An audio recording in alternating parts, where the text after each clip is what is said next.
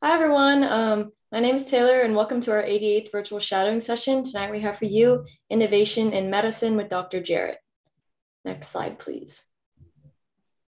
As always, this is our working group comprised of our four physicians, Dr. Fowler, Dr. Marchetti, Dr. Salazar, and Dr. Reno. Next slide. Um, just to let you guys know, our upcoming sessions next week, we're going to have thoughts on the application cycle with Dr. Fowler um, and Dr. Nigan. And then the 22nd is still up in the air. It's to be decided. And then on the on March 1st, we have a specialty spotlight in emergency medicine. Then on, on the 8th, internal medicine. Next slide, please. Um, as always, I just wanted to remind everyone to put their questions in the chat as we go so we can get your questions answered. Um, and so, yeah, uh, without further ado, Dr. Fowler, do you have anything you'd like to say?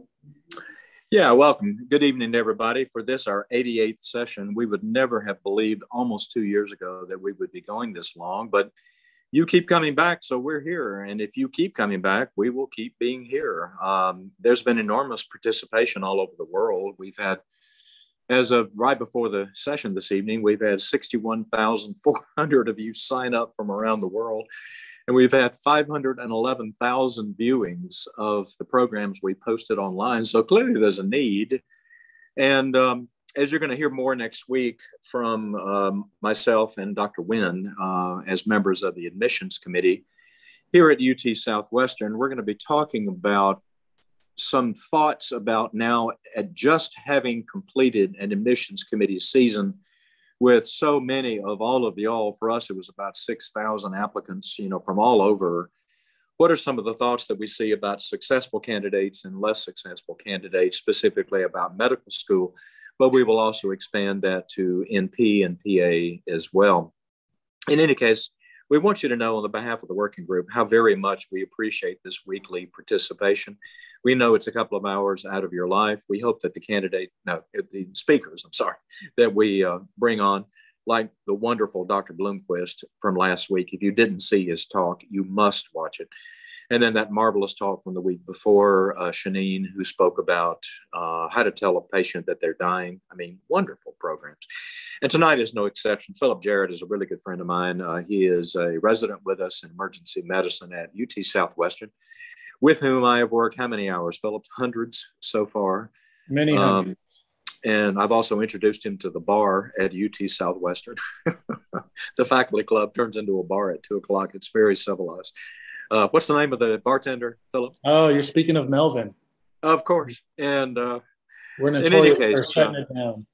Philip is one of the best and finest, one of the really great minds. We were trying, we were recruiting him to stay on with us uh, for a fellowship, and uh, Taylor, why don't you uh, make some final intros of our guest, and then Philip, you can take it away.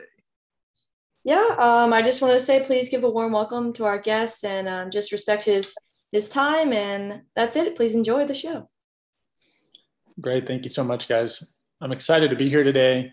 Uh, I'm Philip Jarrett. I'm one of the emergency medicine residents at Parkland Hospital and UT Southwestern here in Dallas, Texas. I must have cast the wool over Dr. Fowler's eyes. I'm not really sure what I did to earn this. I don't think that it's that common for residents to take the lead on one of these discussions, but it may have something to do with my somewhat non traditional career path and the work that I do and my research outside of the emergency department that might add some value. My overarching goal in this talk is to kind of inspire you guys to take a couple of lessons from my experience so that you can find ways to innovate as you go into your careers in healthcare. At any given point, whether you're working with patients in clinics, in the hospitals, in the operating room, there are going to be opportunities for you to make a difference by modifying the way we approach treatments and surgeries and discussions with families and how we engage with patients, whether it's virtually or in person. And all of those are opportunities to innovate. And it is my opinion that we have an obligation as healthcare providers to innovate. So let's talk a little bit about me first. So I was born in Jacksonville, Florida. Um, there's a picture here that kind of shows my hometown. I'll admit that a couple of, of the buildings on this picture were not built yet when I was born, uh, but it has continued to grow since that time. Uh, it is notorious for a couple of things, and I say notorious in a bad way because we are the home of the Jacksonville Jaguars. And though I tried to be a fan, it's very difficult to be a fan. Uh, instead, I decided to come to Texas as soon as I could. Of course, I was only about seven years old, and cheer for a team that kept my butt on the end of the seat, and that would be Texas Tech. Uh, while Texas Tech doesn't win often, they win often enough for me to think we might stand a chance. Every year they prove me wrong, uh, but every year I have a little hope left. And after undergrad, I went on to grad school at Texas Tech and did a master's in business administration before coming to UT Southwestern for medical school. Now, this place is so cool. It has all the best resources for medical students, for training, for research, for clinical experience. And so I just couldn't bring myself to leave. So ultimately, I decided to stay here and go into emergency medicine at Parkland Hospital. Here's a picture of it back in 2014 when it was. So let me see. You went you went to med school at UT Southwestern, which means I voted on you. Did you make us proud? You let me know. Let me know at the end of this talk. We'll we'll see. Ah, ah. Yes, yes. Uh, so let's talk a little bit about what I wanted to discuss with you guys today. And while we're not going to be talking directly about the experience of patient care in the room, uh, I like to do a little bit outside of the room for my patients as well. And so that's sort of the focus of the talk today. Um, I want to define the scope of physicians in regard to who we should be innovating for, how we identify opportunities to innovate, and sort of the pathways to innovate. Uh, and part, like uh, part and parcel to that discussion is that if you're going to do this, you need to understand quite a bit about intellectual property so that you know where you're starting, what material to work with, how the law defines it. And it kind of gives you an idea of when you're approaching an opportunity to innovate, how to develop solutions that are protectable, that are marketable, and that are going to uh, uh, work well for patients and the providers that use those technologies. And then throughout, we'll, dis- we'll discuss a couple of cases of things I've worked on in the past. They're kind of uh, sprinkled in. Uh, so the physician scope in healthcare in general was defined long ago, and you all, you all know it. And so we can uh, read off the Hippocratic Oath here together all at once. Ready? One, two, three. I'm just kidding.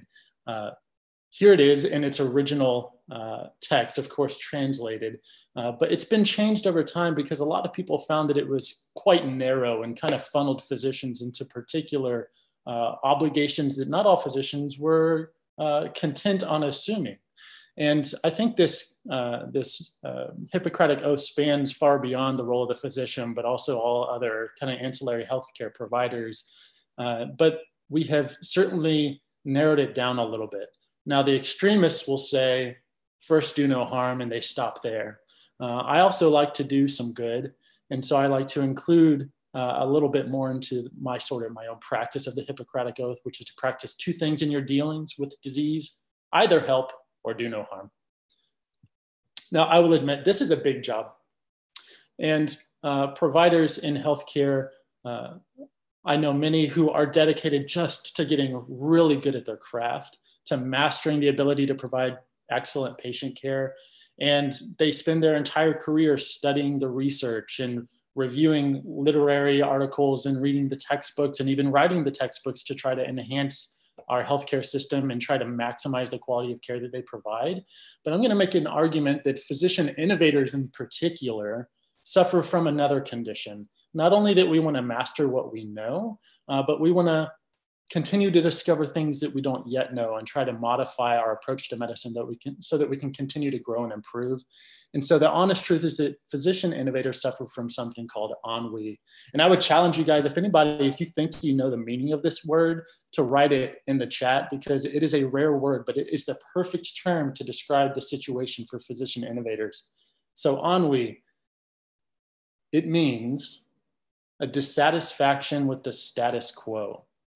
And physician innovators suffer from this constantly. Every time we see patients, every time we're dealing with a procedure or working with families, trying to have discussions about goals of care, uh, I think we're all suffering from this concern that we just want to do more and we want to do better and we want to find ways to make healthcare more enriching for our patients, for maybe even easier for us to perform, less costly for our patients. And so, although we're working toward mastery of all these things that we know, the reality is that we also crave the unknown. And so, we're con- continuing to kind of search for that. And so, the burden of physician innovators then is to improve healthcare. And that's quite simple.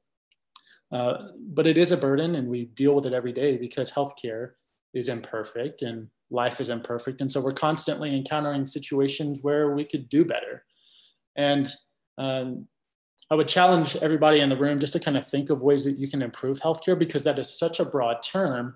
Uh, but there are some specific ways that are particularly um, uh, conducive to innovation in the form of medical devices and pharmaceutical developments and modifications of procedures so that we can make a difference for patients. And so I've just kind of hashed out some here. Uh, new procedures is a big one. It's sort of a cutting edge thing. Every time you develop a new procedure, you're disrupting the market, so to speak. You're going to have to reteach all of the providers that perform that procedure how to do the new one. And so there's a lot of barrier to entering the market when you're approaching innovation from that perspective. Now, efficacy of treatment uh, can be approached in many ways. We can modify the doses of our treatments, the frequency of our treatments. Uh, we can uh, cut the doses in half or we combine known treatments together to see if we can create a combinatorial effect or a synergistic effect with those medications.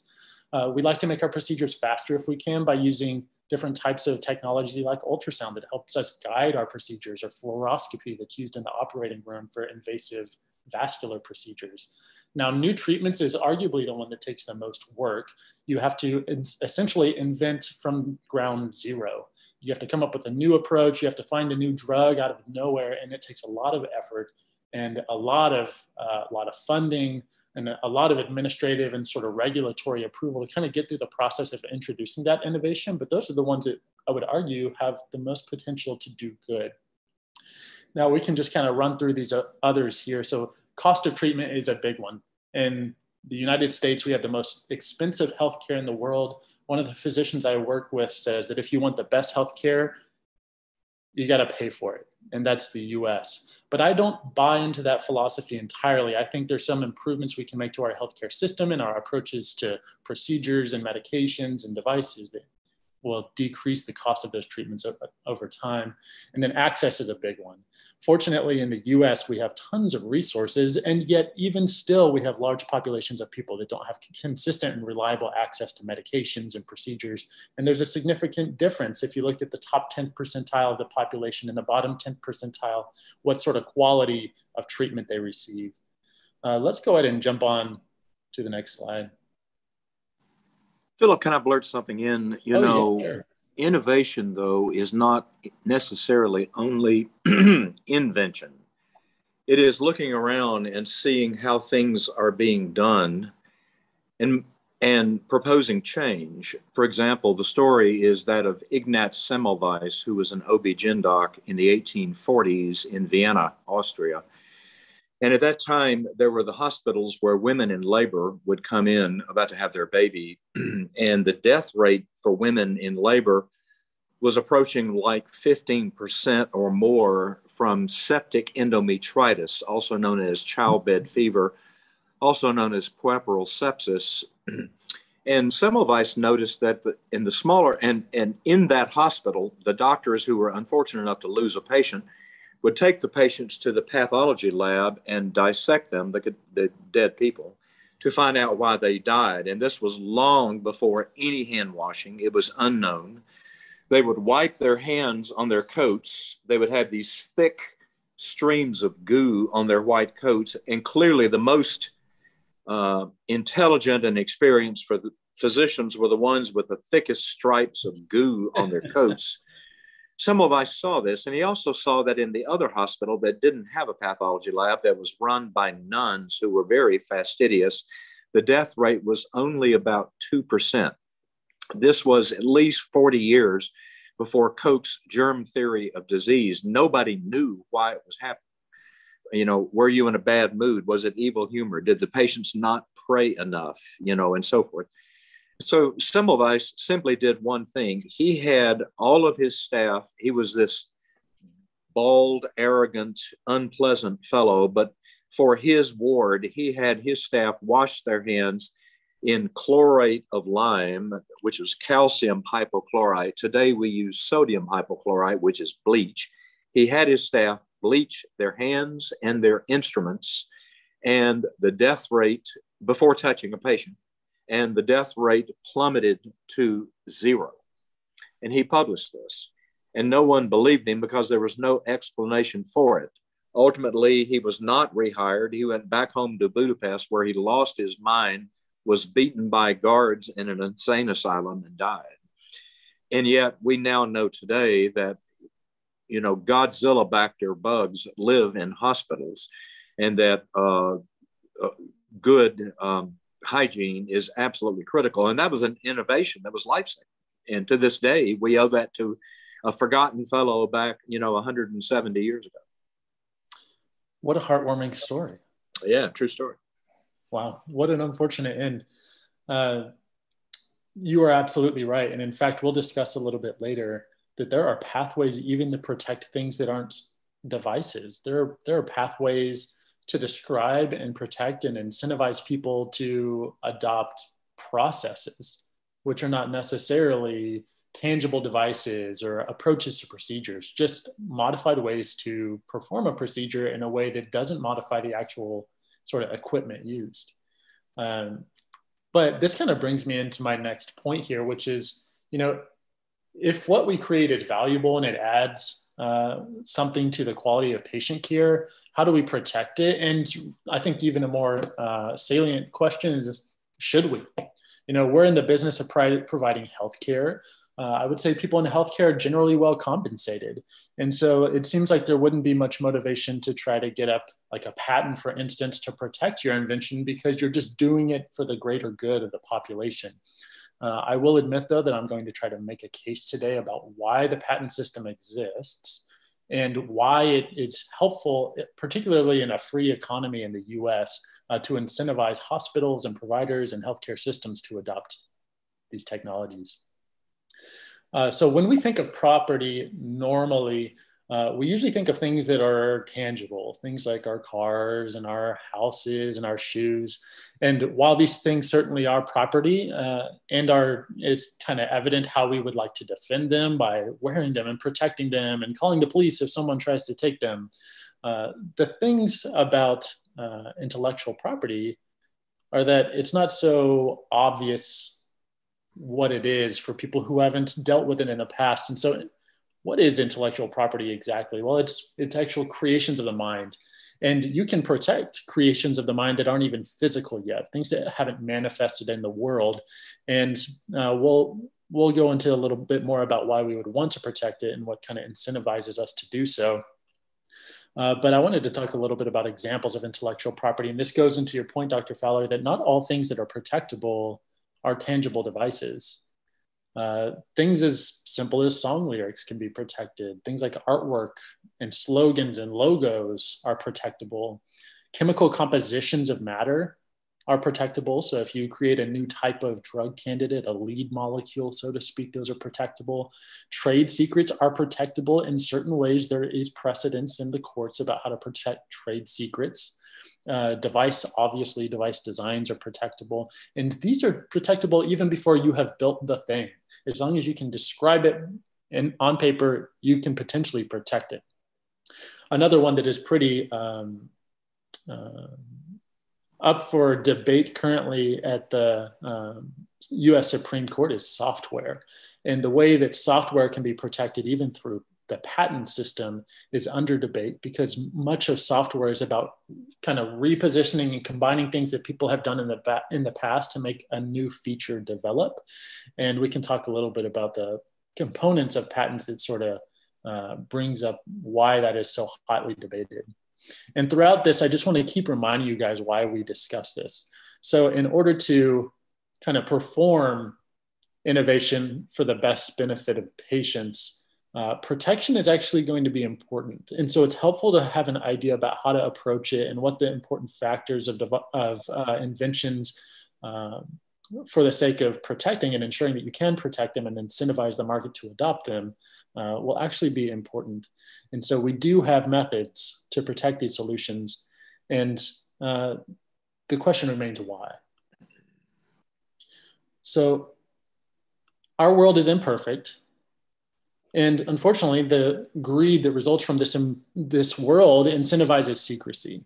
And as a result, you know, if you develop a solution uh, for a new shampoo that changes your hair color every week so that you can stay lit, uh, it's going to be uh, a popular product. And if the, the chemical composition of that product is so difficult to reverse engineer that you can keep it private, you may own that market forever. And so secrecy, in some degrees, uh, kind of limits societal growth because other people can't figure out how to do it and kind of build upon it. It also empowers monopolies uh, to continue to use that technology and amass great wealth when other people are eager to kind of get a piece of the pie. And so, uh, fortunately, the government has struck a deal with the population of citizens. And this goes way back. Uh, in April 10th of 1790, the US Congress passed the first Patent Act. It was entitled An Act to Promote the Progress of Useful Arts. And what they proposed is that, you know, we want people to innovate. We want people to develop new technologies, but we also want to be able to progress beyond that invention when someone else has a new idea and wants to build upon it. So here's what we will do. And this is the government speaking, of course. They say, here's what we'll do. Describe exactly for us, ex- exactly word for word, how your technology works, such that someone else could copy it and kind of uh, rebuild that technology and take ownership of it, build it, manufacture it, distribute it themselves. We want you to tell us exactly uh, what's in the secret sauce. But in exchange, we'll give you exclusive rights so that only you can produce it, only you can distribute it, and only you can make money off of it for a period of time. And this was designed so that uh, individuals and corporations had a way to protect their devices and their processes and their software and other solutions, uh, but would be able to still kind of contribute to the, the greater good of society and kind of create a, uh, a track record of the progress in society when it comes to innovation. And so, just to define these a little bit for us for uh, exclusive rights, these are uh, the rights offered by the, the government to people who apply for protection, and it excludes others from making, selling, or using an invention for a limited period of time. And depending on which type of protection you apply for, you get a different period of time that is allotted for you to protect that. And then secondly, we've got an enabling disclosure. And what this really means is that it is a publication that is of sufficient detail to allow a person of skill in the art, essentially someone who does your type of job, uh, when they read it, they would be able to carry out the invention as well. So I want to jump aside for a little moment because I feel like we can really get in the weeds with the legal stuff and kind of lose track of the medicine. And so let's talk about a case here. So a 64 year old woman comes into her family physician's clinic and she's accompanied by her daughter due to concerns about progressive memory loss that's been going on for the past few months she's been misplacing her keys. She's been wandering off on walks without her family and getting lost, and her neighbors kind of have to redirect her to remind her how to get home. And she also occasionally forgets the names of relatives, and uh, it's kind of getting worse. She's forgetting the names of people she knows better and better. Now, the primary care physician has a, a broad consideration of all the possible causes of her memory loss, and so they perform significant testing and they perform some neuropsychiatric evaluation to establish a baseline for her mental health and function. And it results in the diagnosis of Alzheimer's disease, which is really quite an awful condition, and we'll discuss it in detail. Uh, the patient is ultimately started on donepezil. It's a common medication used for Alzheimer's disease, and it's an anti an acetylcholinesterase inhibitor. And um, they also provided the patient with some resources for part-time sort of home health nursing assistance for her declining activities of daily living or ADLs, which is something we use in medicine to kind of help us understand whether patients are able to take care of themselves. Are they able to brush their teeth? Are, are they able to pay their bills? Are they able to feed themselves and use the restroom? These are things that as they start to fall off, their healthcare expenses start to go up the suffering of their family who is burdened with taking care of them goes up. And this is one of the points in in a person's lifespan when the healthcare expenses really starts to skyrocket and is a point um, in time where innovation and uh, solutions to try to help people retain their mental health and their ability to get along in life uh, can make a really long lasting impact both for family and for the healthcare system as a whole. So let's talk a little bit about Alzheimer's and the sort of underlying physiology of the disease. So we've got a brain here, and the brain is obviously made of billions of nerves. And these billions and billions of nerves uh, communicate down through the spinal cord and communicate every thought, every uh, bit of information and sensory finding and every motor movement of your muscles throughout your body. And these nerves, each on their own, play an important role and they engage with each other through small connections known as synapses. And these nerves have a really tough job to do because while the nerve cell can start way up in the cortex of the brain, there are some nerves that have to travel all the way down to the end of the spinal cord near your butt, essentially, before connecting with the next neuron to send off signals to your leg, for instance. And so cells are tiny, as everybody knows. They're microscopic. You have to use a microscope to see them. And yet they have to somehow organize some really complex architectural performance within the cell to make sure that all parts of the cell are healthy and functioning well, even though the nucleus might be seemingly light years away from the other end of the cell. And so uh, we've got a picture of a mitochondria up here, and the mitochondria really drive the pathophysiology of Alzheimer's disease. And the reality is that these mitochondria are very small. And uh, in one sense, Alzheimer's disease is the slow kind of cumulative dysregulation of these mitochondria throughout the nerves, throughout the neurons, and uh, the slow accumulation of the cell's inability to regulate the movement of these mitochondria. So the mitochondria need to be way down in the dendrites, way in those feet that are out touching the next neuron, and that could be seemingly miles away. And as these mitochondria start to misbehave, some unfortunate things will happen. They start to produce uh, excess proteins that normally have a, a, healthy function in the cell, but can start to accumulate in abnormal ways. This one right here is called amyloid beta. It is uh, normally used for neuronal growth and nerve cell development, but when it runs rampant, it actually starts to form these things called uh, amyloid plaques or amyloid beta plaques. And so this is a kind of a cool picture where we see some neurons with the dendrites coming out, but we've also got these big balls here that are accumulating and they're just millions, billions of copies of amyloid beta that are starting to accumulate because they have no place to go and they're unregulated and the cell has kind of lost its ability to keep keep this protein in uh, like in tabs, so to speak.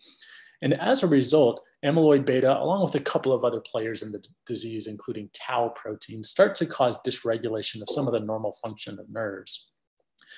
And so there's a protein that lives on the, the membrane of mitochondria. It's called dynamin related protein 1, and its job is to cut mitochondria in half. Uh, as cells grow, they need to make more mitochondria and they need to distribute them throughout the cell so that the cell is able to produce energy in the places it needs it most, right when it needs it. And DRP1 helps do that. It helps divide these mitochondria so that they can perform their job. Unfortunately, as people start to age or develop Alzheimer's dementia, the DRP1 protein becomes a little dysregulated. In fact, the research shows us that as amyloid beta starts to accumulate in the body, amyloid beta actually incentivizes DRP1 to split mitochondria more often and in irregular ways. This results in more damaged mitochondria that are being produced, and that damaged mitochondria get marked for cell death or essentially mitophagy, which is when the cell kind of chews up that mitochondria to get rid of it. But as a result, it produces all of these extra things in the cell that actually incentivizes the cell itself to die with time, including the secretion of calcium from the, the inner membrane of the mitochondria, and ultimately leads to uh, degeneration of the brain and of the mind. However, when I was at Texas Tech, I was uh, performing my master's in business when I was offered a job to work at the patent office there. It was just a side gig so that I can make some money while I was studying.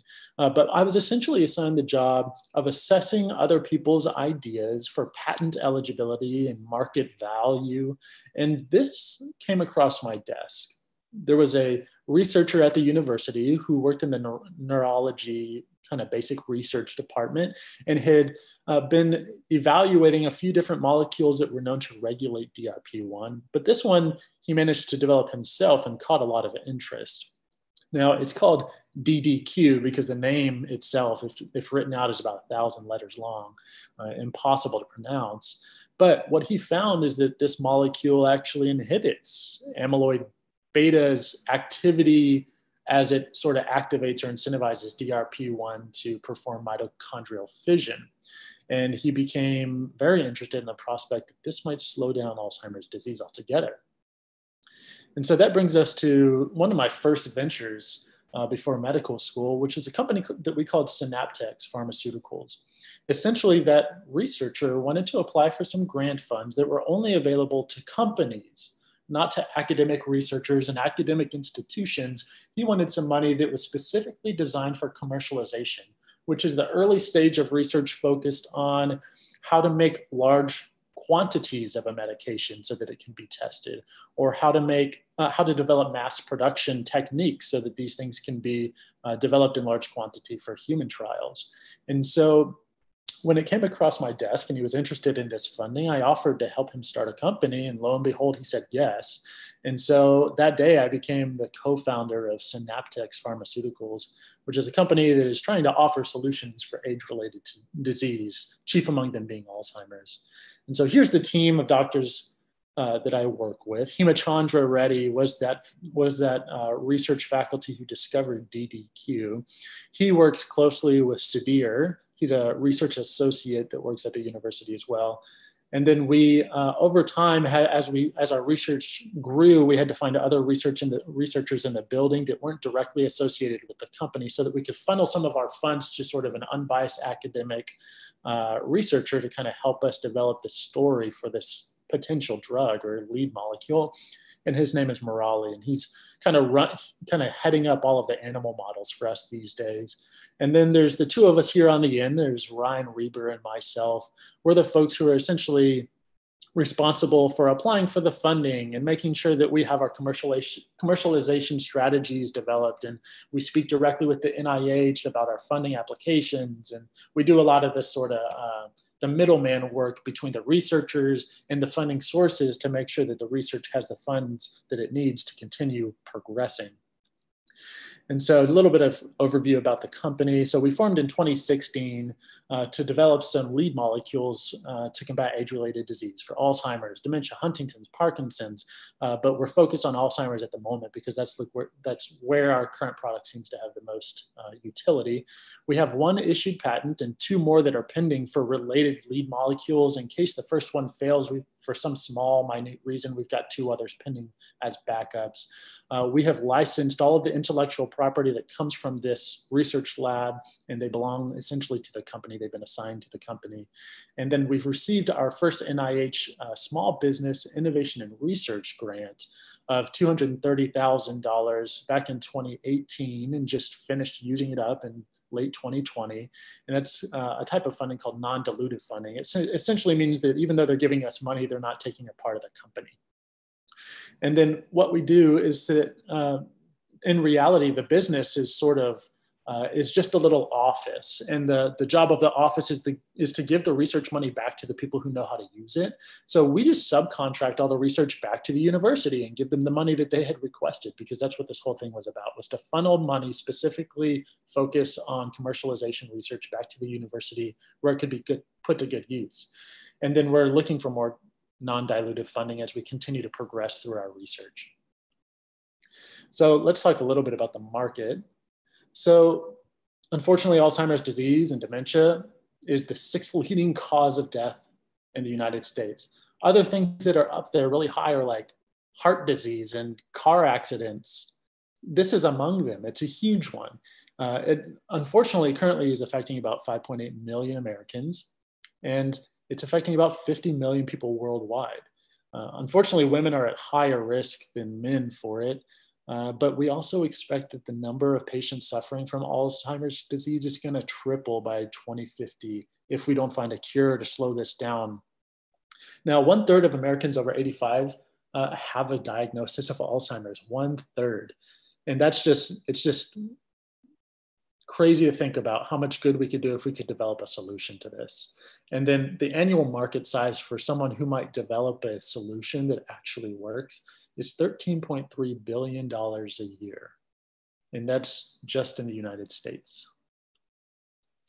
So our solution, we already kind of talked about, was this DRP1 antagonist. It inhibits uh, DRP1 and it inhibits its interaction with amyloid beta. As a result, it allows mitochondria to live a little bit longer, to get transported where they need to go, and prevents the effects of amyloid beta um, in the near term. What we don't know is, you know, how long can you take this medication and stave off its effects? Does it last forever? Or does the amyloid plaque essentially grow uh, with time to the point where we can no longer combat it? That question left is uh, remains to be seen, and that's what part of our research focus is dedicated toward.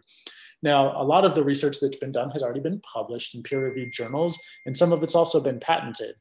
Uh, we have a, a, patent for the first one, the DDQ molecule. The patent is called Drug Targets of Delayed Aging in Human Brain, Diseases. It was filed in November of 2017 and was granted uh, late in 2020.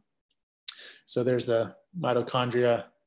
There's our DDQ right in the middle of DRP1 inhibiting its action. And here is the first patent that was issued to the company.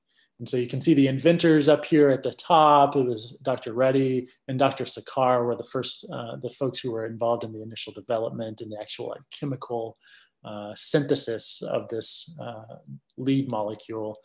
And uh, it was the first patent, patent that would been issued. So I don't think we need to kind of beat the dead horse, so to speak, on this. Um, but suffice to say that the mitochondria is the powerhouse of the cell you know? And uh, we're doing what we can to keep that powerhouse going. I think I have talked us through a lot of this content here. Yeah.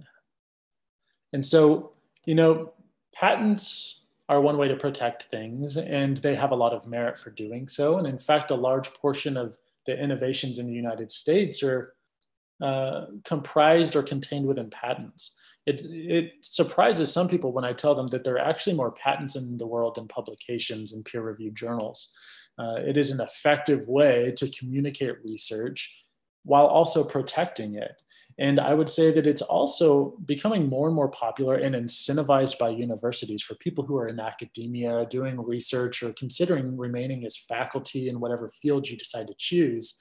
Uh, because at some places like Stanford, faculty are sort of given these continuing education points each year. And articles, like peer reviewed articles that they publish, are given a point, but patents are given two. So they're considered twice as valuable. So we've got a couple of publications that came out within the last year, both of which are focused essentially on um, the effect of our drug on how well mi- mice move through this really challenging maze. And the mice are designed genetically to develop Alzheimer's at about three months of age. They become confused, they develop memory loss, they lose their sort of incentive to eat. And so we develop these mouse models and we feed them the medication and then we track them and see how well they get through the maze and whether they can develop a memory of the maze and kind of track that over the time. And we've got some early data suggesting that um, our drug uh, significantly uh, increases the ability of mice to remember how to get through a maze. It, they continue to eat and they don't lose weight as quickly as the, the control. And uh, we've got lots of in vitro data showing that in vitro nerves uh, have significant improvement in mortality. This is just cells in a petri dish. So there's a lot of work left to be done to determine how this would affect a real human's lifespan. But nonetheless, uh, we're working toward that and it just takes time. I'll admit when you're developing a new treatment like we discussed earlier new treatments are the most challenging to develop because there's so much work to be done. And so We've partnered with a couple of companies. One is called Uberon. They have a lab space near Texas Tech where they allow us to use some of their chemical manufacturing services and help us somewhat mass produce the drug that we need for our testing in mice. And then because of the publications that we've developed so far and the patents that we're starting to accrue, we've gotten some early interest from uh, another pharmaceutical company that's uh, very reputable called Velocity Pharmaceutical Development.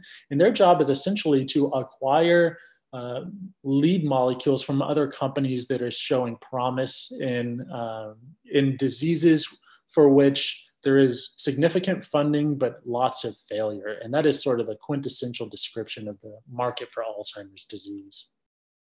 So the next step for this company is really that we're just targeting more funding to get us through the next stages, and we're looking to sell. As soon as we can sell, we want to get this lead molecule to a company that has tons of resources and the ability to achieve higher throughput and, uh, and kind of get this to market as fast as possible. So let's switch gears back a little bit to some of that theoretical stuff about. Well, a couple things, Philip. That yeah, God, what a great talk, and I, am glad you went through the physiology. All the students here are going to be dealing with this in some portion, with biochem, physiology, and so forth coming down the road away. So thanks for presenting that. It's also beginning to understand that the healthcare provider of the future is going to have to be prepared for these things to be able to try to understand what in the world you know, that you're actually doing. Preserving mitochondria is essential. It turns out that melatonin preserves mitochondria and so forth. I mean, so um, it was also interesting that you worked in a patent shop and then you got an idea because that is exactly what Einstein did. You know, he was sort of unhirable in his 20s, Albert Einstein, uh, in the early 1900s. And then, uh, and he just started looking at all these um, all these devices and patents going through, and it gave him time to think. And then, of course, he released his, uh, he had his Annus Mirabilis, his amazing year in 1903 to 1905, when he put out and discovered the um, theory of relativity, E equal mc squared. So I, I knew you were a genius, Sir Jarrett. Give it time. I'm still waiting for the E equals mc squared for my own. Yeah, wait, well, you were you were supposed to say everything is relative, but that's okay. All right, I'll get there. I'll get there. All right. So this is the slide that we left off at before we started the case, talking about enabling disclosures and kind of defining some of the important terms for intellectual property. But I think we need to talk about why, because I still struggle with this myself, having been working uh, with patents for the past six or seven years and toiling over the concept that we're supposed to be doing this for the public good and that I'm going to be paid well enough to live a comfortable life. Do I really need to kind of pursue protection so that I can suck every dollar out of these ideas? Uh, but I think there's more to it than that. And the reality is that healthcare is really expensive. It really is. And so let's look at how much money is spent to kind of support innovation in healthcare. And maybe we can make a case for protecting technology as you develop it. So, who pays for progress? Well, the reality is that we do. Uh, we pay with our tax dollars and our tuition revenues to the universities that are doing the research. The NIH is the biggest funder of research in the United States. The CDC also funds a significant uh, portion of the work in infectious disease. The FDA actually has a portion of funds not only dedicated to regulation, but also to research. And then uh, BARDA, the Biomedical Advanced Research and uh, Development Authority, also has a significant fund for sort of device work as well. Now, this is largely driven by tax dollars and tuition revenues, these things that go to the universities and to the government institutions that fund this stuff. But these groups specifically are focused on very early stage research. They help the people who don't have any interest from corporations and aren't going to get big uh, paydays with uh, buyouts and acquisitions because the companies need something that has promise. And so that is the job of the government is to incentivize people to innovate from the very start. And so the biggest contributor to that early stage research is actually the government. Now, when it comes to the later stages, the actual sort of validation of whether a drug or a device or a procedure or a process actually works well and would fit into the market, it generally comes down to the corporations. For drugs in particular, it's corporate pharmaceutical companies. And these companies make all their money a different way. They make it from their corporate revenues, from selling the products that are already available in their product lines. And then they also get funding, especially sort of like the mid range and the small pharmaceutical companies, the very small like mine, uh, from venture capital companies. And these kind of drive the funding for those sources. Now, the biggest one overall may surprise you because like there's so much tax money going to the government and we would assume that that contributes to the largest uh, source of research funding that there is. But let's just kind of look at that for a second. So, what do you guys think is the average cost to bring a new drug to the market in the United States? Just a new drug. Let's say my drug, the DDQ medication. Just throw out some ideas. I'm curious about your guesses because it's a decent amount of money. I certainly don't have it in my savings. I would be impressed if you do. It is a lot of money. It is approximately $1.3 billion for one drug. Now, it is highly variable depending on the market, depending on which disease process you're trying to treat, how well funded that industry is, and what drugs have come before you, because the complexity of an FDA approval process and human trials, it's largely dependent on how similar your drug is to others. But this is an average. It goes to upwards of 50 billion in some extreme cases, and as low as uh, like 250 to 300 million but who's really paying for it? So, what do you think the average annual research and development expense of pharmaceutical companies is? How much money, let's say, yeah, let's say how much money do, do pharmaceutical companies have to spend annually on their research? You know, we will see in a moment how much the FDA and the NIH and others have as well. Um, in reality, it's a lot of money. It's $83 billion per year that is being spent by pharmaceutical corporations to develop new drugs and new devices uh, to enhance healthcare. So let's compare that to the people that we know are making a difference in those early stages of research. So the NIH being the biggest among them. How much money do you think the NIH had in its budget in 2018? I think it's 83 billion.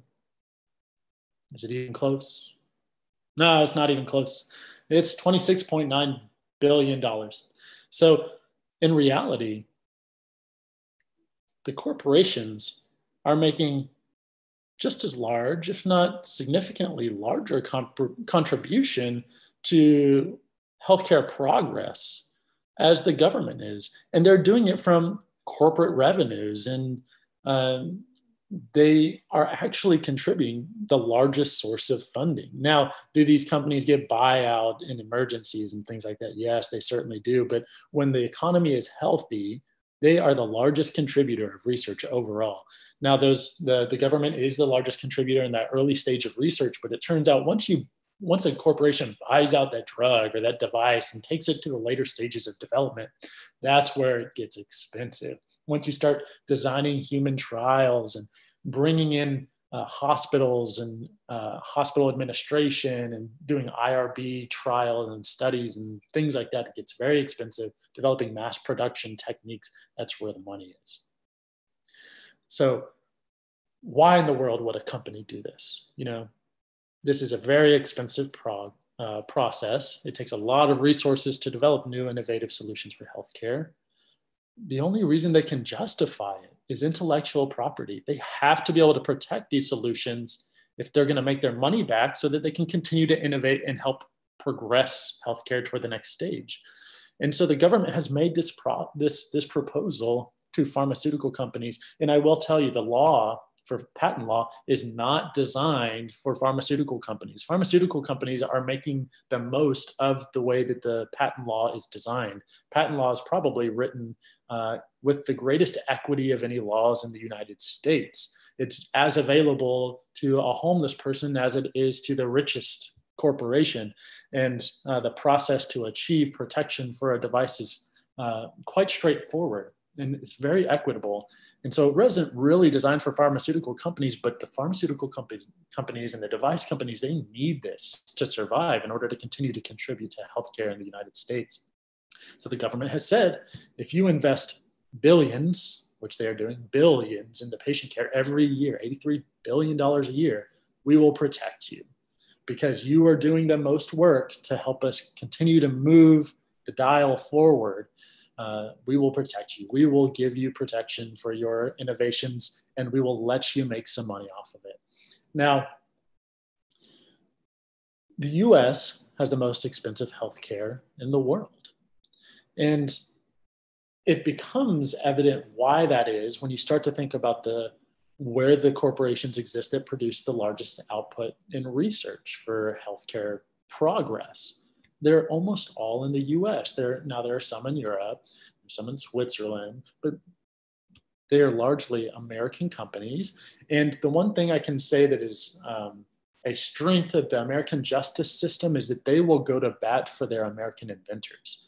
And if an American corporation decides to produce a drug and sell it and name their price, whatever they need to make in order to make back the money that was required to develop that drug or device, the, the American court system will protect them. They will defend them against copycats and reverse engineers and all those things. But when they try to go sell it in another country, it's a whole different ballgame. So they're fighting against people who are trying to reverse engineer and copy their products and manufacture them and sell them sort of under the table because those court systems have not historically protected American innovators well. And so if a US healthcare corporation wants to make a difference in the world, the only people they can charge for the, the change for the whole world are the US consumers. So we are paying for the development or progress of the entire world's healthcare. And that's one of the reasons, and there, there are many reasons, but that's one of the reasons why US healthcare is so expensive. Now, I want to take a break here because I think we've gone through a lot of stuff and a lot of theoretical stuff. Uh, we've got a couple more cases to discuss, but I thought we would uh, touch base and see if there are any questions. So, Philip, what are the next steps about how are you going to look for a pharma partner now, or what? What's your plan? Yeah, so we are in actually awaiting a response from the NIH for another STTR grant, uh, Small Business Technology Transfer and Research Grant, that would be for another approximately $200,000 to finish our specific aims in animal models. The questions we're asking now are Does our drug increase uh, uh, decrease mortality and prolong lifespan in animals. Once we get that data, we are off to the races as far as generating interest from phar- pharmaceutical companies to buy us out. Now, the, the reality is that the Alzheimer's market is absolutely dreaded by corporate pharma. Within the last 15 years, Dr. Fowler, if you had to guess, what do you think is the success rate of lead molecules that make it to the FDA? it's it's got to be small. It's it's got to be really low. 99.8% failure. Jesus. Talk about a way to waste your money. If you're a corporate pharmaceutical entity, right, is to invest in Alzheimer's. That's why it's one of the most well funded uh, areas of research by government because someone has to fund it. And the corporations just struggle to see incentive because they're concerned that they're going to invest that $83 billion a year and get no output. It's going to make and no yet, the flip side of that is the most expensive part of medicine, just about, is taking care of older people. Their surgeries, their mm-hmm. assisted living, their nursing home care. Um, it is a, it's got to be one of the big, big dollars for Medicare and if there was some way to be able to take folks into very advanced old age and still being able to be, you know, conducting their activities of daily living and so forth, you know, it would be a remarkable cost saving for the government. Yes. In yeah, fact, take it away, Taylor. Hmm. Yeah, I'm sorry. Take it away, Taylor. You have any final comments you wanted to make? Oh, yeah, sure. I was going to just comment on that, Dr. Fowler. In fact, the entire community of folks doing Alzheimer's research were kind of held in bated breath over the last couple of years because there was one drug going through the FDA approval process. It was in phase three trials called aducanumab. And they recently were given approval for this drug at the last, like finally, we've got something that's gotten through. Maybe this has promise. And they had a publication showing efficacy for mortality benefit and improvement in memory retention. And right after the FDA approved it, they with they redacted their study on efficacy. And this is a hot topic now in our world uh, because we've just for the first time passed a monoclonal antibody to treat Alzheimer's disease. And finally, we have some hope. And right after getting approved, they, they had to redact their study. It was also fabulously expensive as you know, I've asked you before and teased you, do you, do you watch CNN? And none of my residents or students watch CNN. I'm the only one I know that does. CNN is kind of interesting because they have five minutes of programming followed by five minutes of commercials 24 hours a day, seven days a week. And the first two minutes of the commercial breaks are always the new abalabamabs, you know, the, the new monoclonals or the, the IBs, you know, the immune system uh, uh, active chemicals. And, you know, you see the folks saying, well, finally, I'm taking Humira and my skin is all clear. I don't have psoriasis, psoriasis anymore. And they're celebrating and everybody's happy. And, and nobody mentions they're paying $60,000 a year to have clear skin. How in the Lord's name do we pay for this stuff? But go ahead. Yeah, Taylor's got a bunch of questions. We've uh, you've already got 354 people listening to you, by the way, Philip. And uh, oh, wonderful! They they are hot to hear what you have to say tonight. So, uh, Taylor, take it away. Okay, so this is kind of relating to what you were just talking about. Um, reading the question made me kind of think of a little bit more to ask. But it says even if a treatment is cheap to produce, um, it will still be marked up by manufacturers. How do you work against it in the hospital setting? And so then you also said that like it might cost $83 billion a year for some company to keep this drug being produced. How much revenue are they actually generating? Like, are they really overpricing it? Or is it just feel that way because it's expensive to us? Here's here's what I will the argument I will make. I, I, certainly think that there are overpriced medications, absolutely. And I think that our system, like our uh, internationally, our healthcare system is broken in a way that uh, if we had more inf- uh, defensible and enforceable uh, structures for intellectual property throughout the world, that we could bring the prices down because we're sort of establishing more equitable pricing throughout the world. Here's what I'll say the next drug that works for Alzheimer's is going to break the bank for everybody. Doesn't matter what drug it is, it doesn't matter how much better it is than the previous one, as long as there's this much benefit over all the other treatments, it is going to absolutely break the bank. And why do I say that? It's because over the last 15 years, the FDA approval rate has been 0.02% or, or 0.2%. So all of these corporations have been investing for the last 15 years billions of dollars every single year. And you might say, well, that one drug wasn't really that expensive to develop but it took them 100 failures to get there as well. And they're trying to recuperate the costs that they ex- expensed for that research. And unfortunately it falls largely upon the american consumer to pay for it. Um, but that being what it is uh, I do think that there is a role for the government in regulating to some degree the price of medications and assisting to cover the price of those medications for folks who truly need it, especially if a corporation tries to pull off a stunt where they charge so much for the medication that no one can buy it. Like, what good do we really do if no one can afford the medication? And so I think that's something that uh, our federal government takes uh, looks into and kind of responds to. And we really saw uh, a satisfying response with the hepatitis B uh, medication that was released, the uh, antiviral medication, when it, initially the, the, the, course of treatment was $80,000 uh, to treat acute hepatitis B infection. And within a couple of months, it had come down to about 15 to 20 grand total.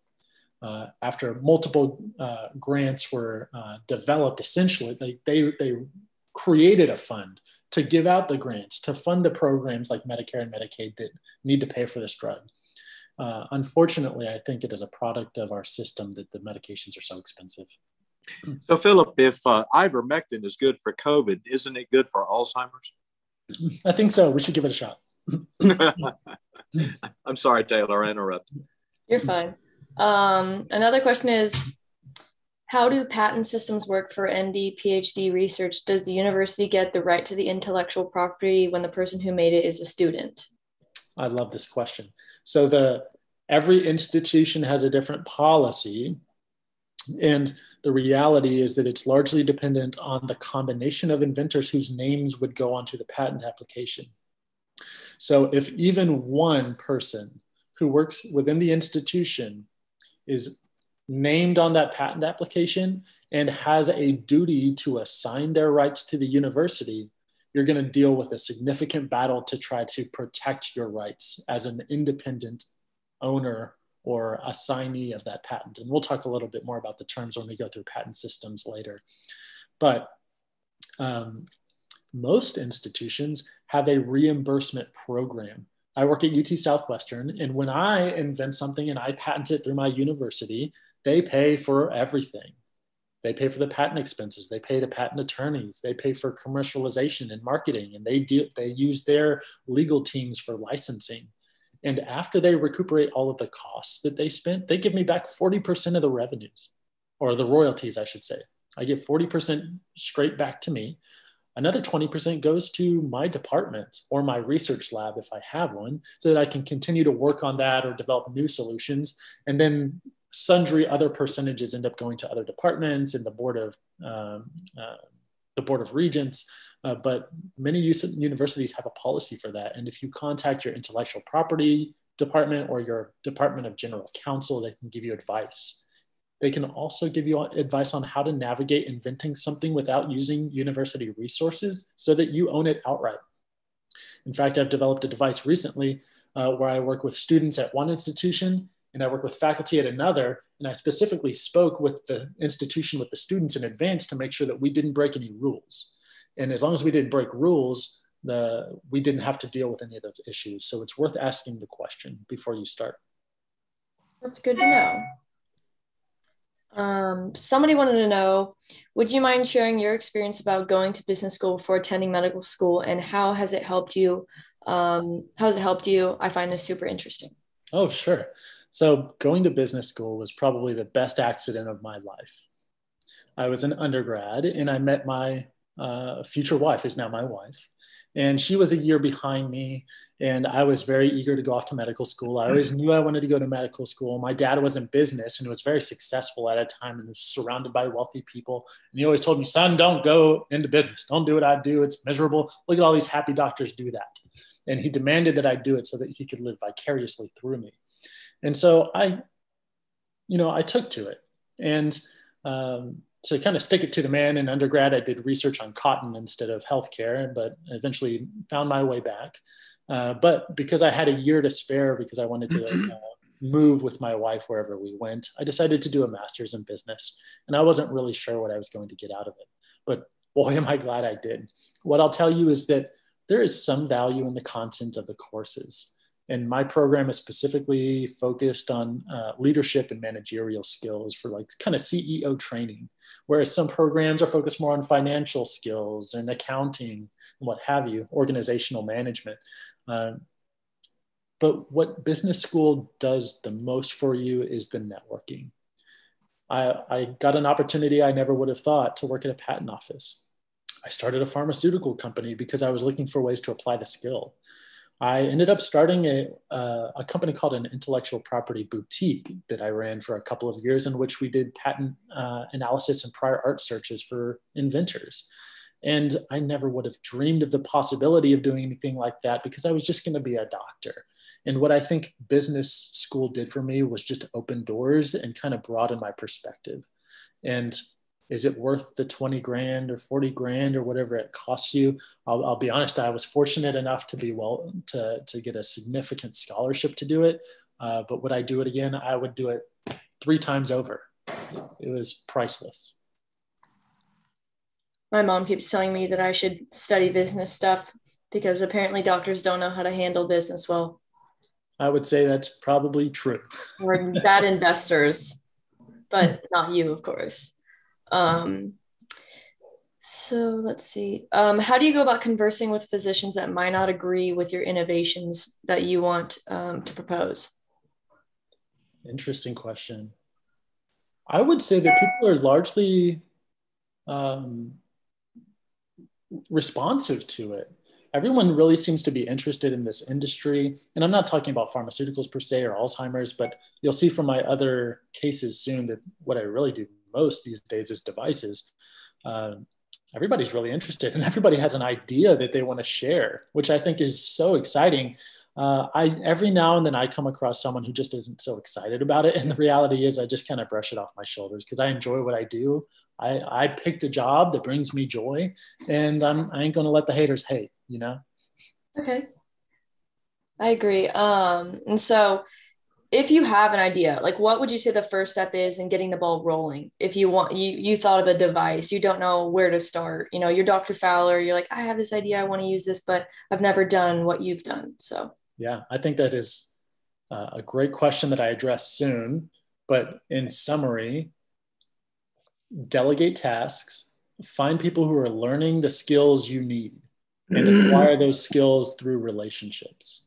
Those are going to be the things that help you most. So when I was first starting out with devices, I had no clue how to do 3D modeling or computer aided design, no clue. And fortunately, I have a wife who does. And so I learned from her. And I also am at a university that has an attached engineering department. And so I went and talked to engineering students and asked them how to do things. And they were really eager to get involved in projects because they needed projects. They needed capstone projects just as much as we need to shadow and we need to do our basic research experiences to apply to medical school. There are so many people who want to be involved. And if you can just do a little bit to inspire them, you'll make a friend for life as well. So I think that it's all about delegating and finding friends and asking mentors questions. I'm always open and I love talking about device stuff and pharma stuff and would just love to kind of get involved in projects with people who have ideas. I'm looking for them all the time. This is a really welcoming group of people, the innovation group. We just we just love this stuff and we want to do more of it. So just ask for help. Awesome. Well, good to know. Um, Dr. Fowler, did you have any specific question that stood out to you that you think I should answer or ask? Some of the questions that are written, I don't really understand how. Yeah, I, I are Philip, I think you've answered it mostly, but I think maybe we'll conclude this this particular Q and A session by saying, and by the way, the the student participation here that that nobody has left. They they seem to be very interested in the business approach that parallels a medicine approach. I guess I would ask you, do you because I work with you as a doctor. I know you. You're a great doc. You're a smart guy. You work hard. You love people and so forth. Is the business part distracting for you as a doctor? Yes, I must say it is. And it's not, it is mostly because I just enjoy it so much that I want to spend time doing it.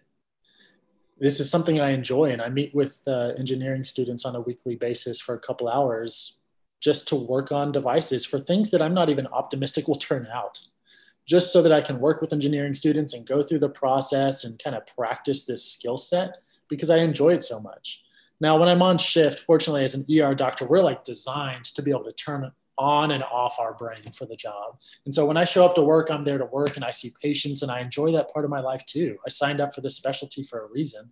Uh, one is that the patients are sick and it's so rewarding to make a difference in their life because they're there with an emergency. This is the worst day of their life and they came to ask me for help. And so the one thing i can do is listen and make a difference by trying to you know help them. Uh, but, and so following on to that thank you. I, I didn't mean to interrupt. Following on to that though just to be right on point but you are also an inventor and you're thinking all the time. It's you know some of it's in the back of your mind not even even in your conscious mind but if some of the students listening tonight would like to do what you're doing, do, do, they need do they need to do their masters first, or can they do it after medical school and residency training? You know, I think the better model is to actually do it later. I spent really, yeah, I spent most of medical school not really sure how to apply what I had learned, and when I started getting interested in devices, I was largely sort of reteaching myself what I had forgotten but if you, I think with just a couple of lectures on sort of what to look out for and how to recognize opportunities to innovate, you can start to develop sort of a, a laundry list of opportunities and take that with you into business school. So that you've already got that sort of fodder to work with when you're going through the processes of developing uh, you know market strategies and understanding the principles of economics and finance because you'll already have these ideas in mind uh, with which to apply those skills that you're developing. I think it actually makes more sense that way. I, I did not do a master's, and I've been a clinician for over 40 years, but there are ideas are burning in my mind. For example, I am there's one of three reasons that I don't know something when I'm working with you. I either never knew it, and there's plenty of that, or I forgot it, and there's plenty of that. Wait till you hit nearly 70, or it's all brand new. And um, for example, th- there's so much that a machine learning could assist with because machines don't get tired whereas you and i at the end of 11 hour shifts and our feet are killing us we're hungry we got we need to pee and we're hypoglycemic you know and we're tired and irritated and the nurses won't shut up and it's just loud loud and noisy and so forth and it's hard to concentrate. Um, machine learning in that setting that could assist us in creating differential diagnoses safely would be very helpful. You had mentioned before in our prior discussion about what MIT was doing with Deaconess Beth Israel. Are you going to get into some uh, AI stuff later, or you want to talk about it now? I actually don't go into AI stuff with this talk. What you'll find is that the last couple of cases are specifically designed to kind of help people who are starting out to do things that are a little bit simpler. Because the, the reality is that developing a new alzheimer's therapeutic is anything but simple. And i think that the best way to start is just to get your feet wet with something that is mechanical that is pragmatic and is easily iteratable re, like you, that you can iterate through you know to to fail with an alzheimer's therapeutic and try to iterate a second time takes decades but what I'm going to propose in the next couple of cases is much simpler than that, so that you can. Well, yeah, let's uh, let's let's let's move into that because I, I think the students really want to hear it. Yeah, let's do it. Okay, so let's talk a little bit about the patent system to kind of reinforce what we discussed and kind of give you guys an idea of how to approach this if you come across an opportunity to innovate. So we discussed intellectual property, which is sort of like the overarching philosophy, whereas patents are the nuts and bolts. So patents require inventions, and inventions are described as new solutions that have three features. They're going to be they're going to have utility, which is just a, the technical term for usefulness. Essentially, you're not allowed to patent anything that isn't useful. Now, this is the easiest criteria to meet because, um, you know, it's in the eye of the beholder how useful a given idea is. And uh, so people are rarely rejected on this basis when they apply for a patent. The second is novelty. The reality is that you can only patent things that you actually came up with, and that sounds fair. Uh, you can only protect things that you develop and defining novelty and trying to determine whether what you came up with is truly novel is a is a a field all itself. It's called the field of prior art. And if at any point you think you've come up with a new idea here's what i want you to do. I want you to go to google but not the normal one. I want you to go to google patents. You can search google what? google patents. Oh and then on Google Patents, I want you to describe in four words or less what your device, your imagined device or solution does. And then just see what exists. You would not believe what already exists. If you think that the world is comprised of the things you see on a regular basis, you are far off because so many people have invented things that never made it to market. In fact, the vast majority of inventions and the vast majority of patents do not make it to market and don't make anybody any money. I'll say that again patents, by and large, do not make people money because you have to not only have a patent, you have to have a market, you have to have a commercialization strategy, you have to have a, a customer base and a need. The patent is just the start. The last thing you need for an invention is for it to be non-obvious. And this is the most challenging thing to explain uh, with regard to patents. I struggle with it every time. But imagine this person that we call POSITA. POSITA is an acronym. It stands for Person of Ordinary Skill in the Art, meaning if you're developing a medical device, POSITA is the world's best clinician or if you're developing a device for a new type of oil your POSITA is the world's best petroleum engineer. And what you create cannot just be a simple combination of things that already exist that you put together that came from that industry. Because POSITA would look at that and say, oh, yeah, that's so obvious. Anybody could have done that. We just didn't because we didn't think it would work. Just because something might work or may not work is not enough for a patent. It also has to be non obvious. And that is the most difficult thing to describe. And it's the thing that most commonly results in people having their patent applications rejected. So let's move on. The next stage in the patent system is to actually apply for one.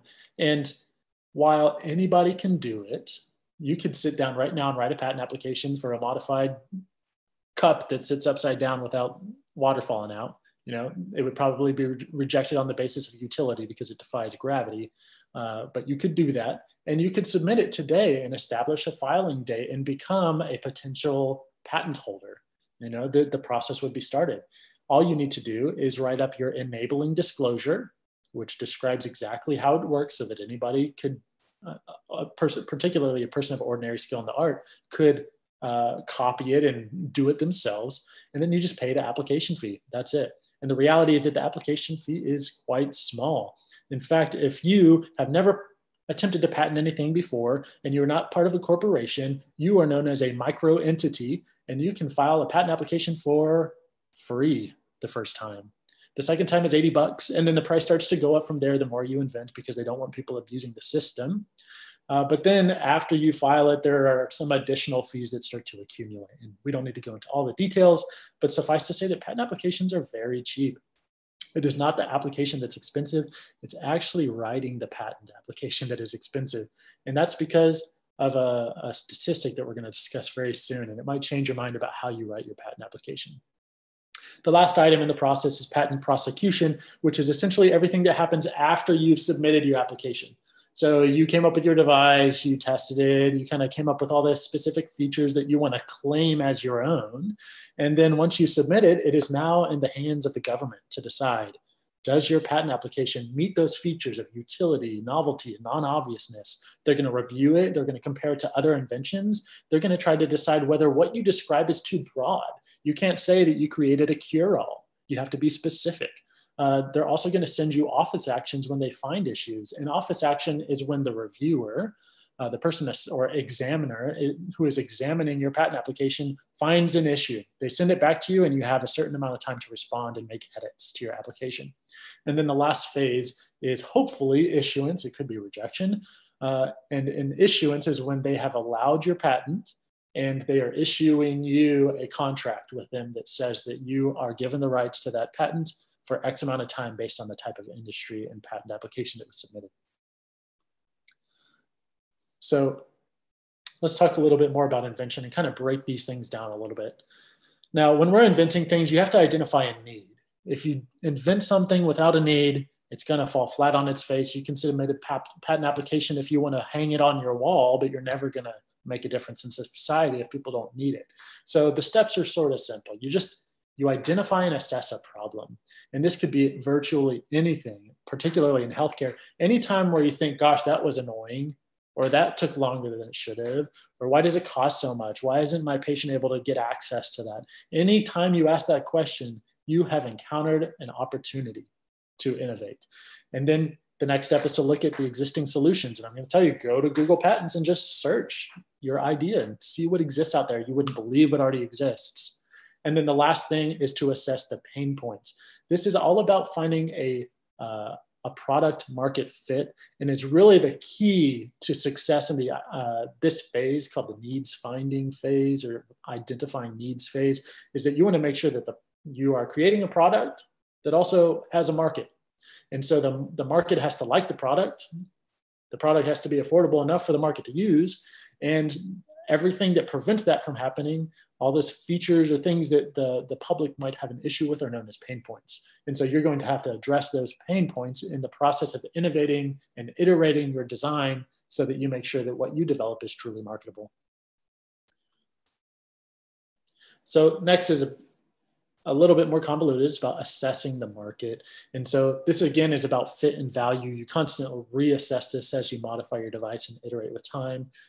You also want to worry about preparedness and make sure that what you're developing is actually uh, something that the market is prepared for. You know, just because you come up with an AI solution to read chest X-ray doesn't mean that physicians are going to let you sell it yet because it's intimidating.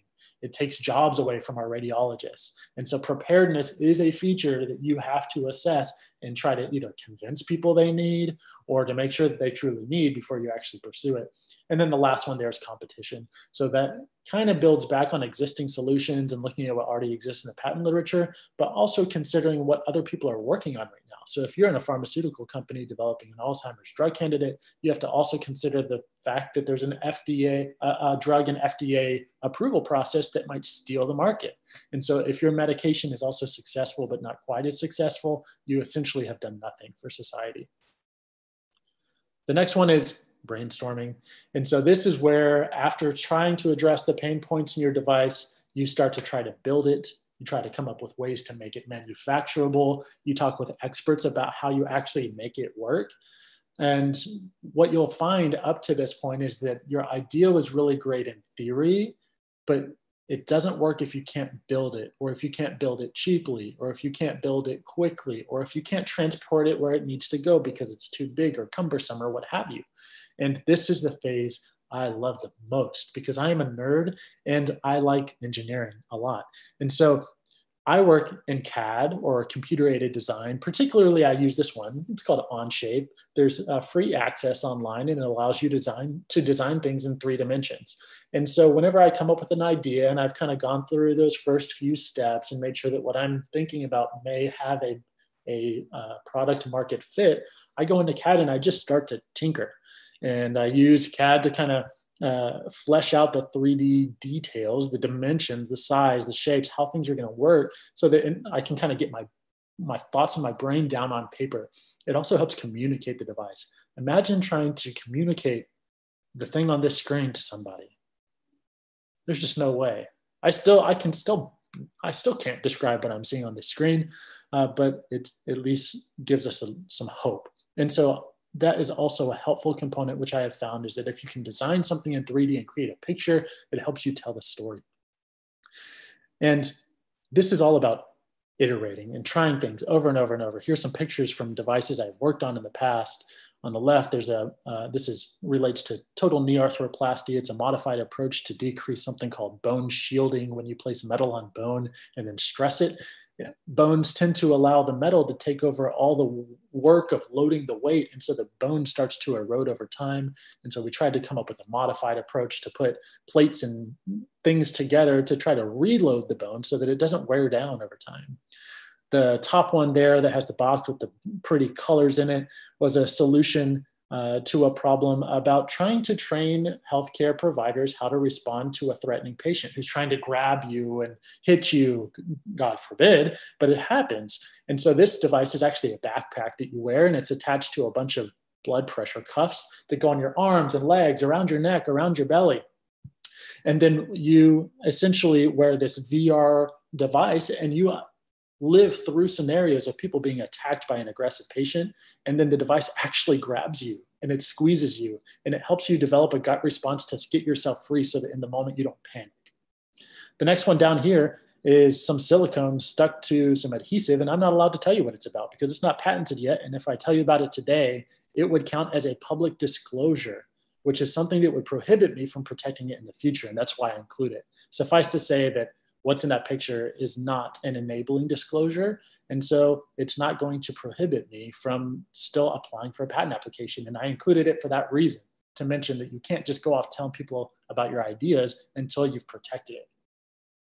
And then there's another really pretty 3D model of the stress shielding issue and the total knee arthroplasty approach that we were working on in that first picture. So let's jump back a little bit.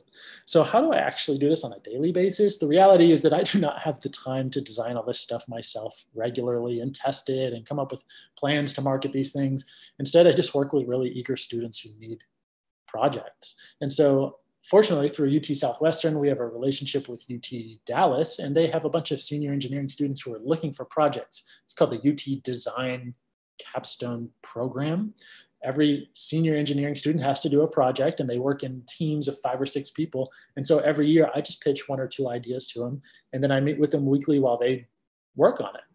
And I learn as much from them as they do from me. And we just kind of develop solutions to these kind of common everyday problems that we want to fix. And in a few minutes, we'll go over a couple that were actually completed and have kind of finished the whole capstone course. Uh, so let's jump back here real quick. So the next step will be after brainstorming is to actually build it and test it. So you've got to make a pretotype and you've got to make one that actually works in the application that you want to use it. Uh, there's something called a prototype that you can produce prior to a prototype, but that's a whole different thing. It's about marketing and showing people what the device might look like. But a prototype is something you can actually test. You'll also have to come up with ways to sterilize it if it relates to a procedure or if it's a device and needs to be introduced into patients. And so when you're designing and brainstorming, you have to come up with materials that are compatible with the sterilization processes. Next comes regulatory approval. My goodness, this is a big one, and I'm not even going to touch it today because it is so big. But suffice to say that everything that goes into, on, or near a patient needs approval from the government. And there are easy things that there are things that can get approval easily if they're very simple and non-invasive. And then there are things that take years and years to develop and require significant effort to get approved. And then the next phase is to again iterate. I just mention it here because you're going to be doing it all along the way, but you're going to iterate not just on the shape or the design of the device. You might also iterate on the route of delivery if it's a medication. Is it usually given through an IV? Is it given intraosseous? Is it given subcutaneous, orally? Is it topical? These things can all be iterated on as well. And then you can iterate on your market. And this is the most interesting one that actually manifests itself commonly among successful businesses, which is that once you have created a device or a drug or a process, and you think you know what you're doing, the market proves you wrong and says, oh no, this does not work in this market, but man, it sure would fit over here. And there are countless examples of drugs and devices that find new markets. And we call this pivoting in business. And it's actually a frustrating term because the really sales, uh, salesy type of people use it incessantly. We pivoted here, and then pivoted there, and then we found our market by pivoting. And uh, it is the truth that this is the most common uh, sort of hurdle that these companies face in sort of the mid mid stage of development. And then the last thing is you actually have to develop some interest by marketing. And so you got to commercialize the device. You have to make it ready for the market. You have to promote it by talking to the right people, the people that are in that target market and trying to sell them on the benefits and trying to convince them that there aren't pain points associated with your device. And then you have to deal with those sales and licensing people at the end. So we went over eligibility a little bit. So those components were utility, they were novelty, and non-obviousness. I don't think we have to uh, trudge through that anymore because we've kind of dealt with it. So the, this leads to another question. You know, if you're going to actually go through this process, should you use a patent attorney? And I just wanted to address it. We don't have to spend long on it, but I just want to make a case that you really should. A patent application is very cheap. We can do it for a couple hundred dollars on average after all of the review fees and the prior art fees and everything. But you could give it to a patent attorney to write. And the question is, does that make a difference in your likelihood of success? So any patent application that fails to achieve issuance is described as abandoned, whether it's because it was rejected or whether it's because you failed to respond to an email what have you, or failed to failed to pay a fee. We call, call all of that. We, that all falls under the umbrella of an abandonment. And for those applicants who used a patent attorney to write the application and assist them with the communication process, 35% end up abandoning. But those who are pro se applicants, the people who write it themselves and try to deal with it on their own, have a 76% chance of abandonment. If you go it alone, your chances of success are low. They are against you.